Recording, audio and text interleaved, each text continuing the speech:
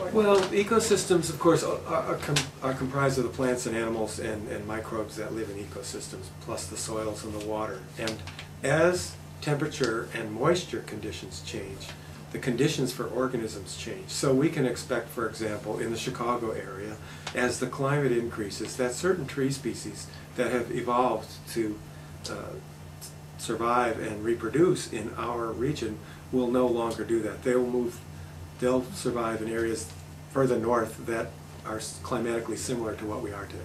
And consequently, we will have species that are further south. That's the simplest view of it. Um, but there are many other views. Uh, species, different plant species will migrate at different rates. Animal species that depend on them will come and go. Things will change. For better or worse, uh, you know, is, is scientifically irrelevant, but in, in one sense, we know ecosystems always change, but we know with a warmer climate, a drier climate, uh, in Chicago, for example, more rain in the winter and spring, conditions for life will differ. Um, certain ecosystems are very important in, in, in, actually modifying greenhouse gas concentrations. For example, temperate forests and even tropical forests remove CO2 from the atmosphere. So if it weren't for the forests that surround us in the north temperate zone, um, the CO2 increases in the atmosphere would be even higher.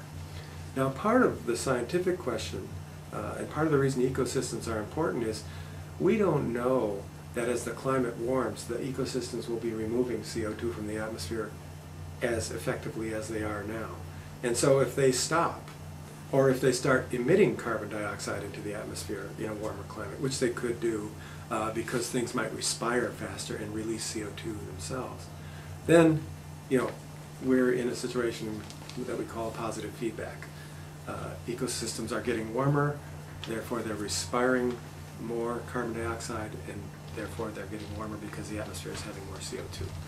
Um, this is a particular uh, problem that could play out in the Arctic, where there are vast stores of peat, and peat holds carbon. Now that peat's been frozen for, for hundreds of thousands of years, and um, if, if the climate warms and dries in the Arctic, we might expect some of that peat to decompose and release CO2 into the atmosphere. So that's why the ecosystems actually provide services for us. One of those services is removing CO2 from the atmosphere.